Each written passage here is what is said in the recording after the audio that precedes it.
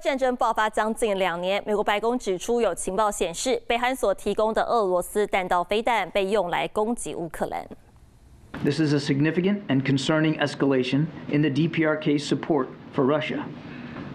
Now, in return for its support, we assess that Pyongyang is seeking military assistance from Russia, including fighter aircraft, surface to air missiles, armored vehicles, ballistic missile production equipment or materials, and other advanced technologies.